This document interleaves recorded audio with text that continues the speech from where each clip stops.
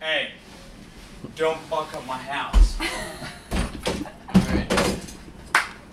That was classic. You should have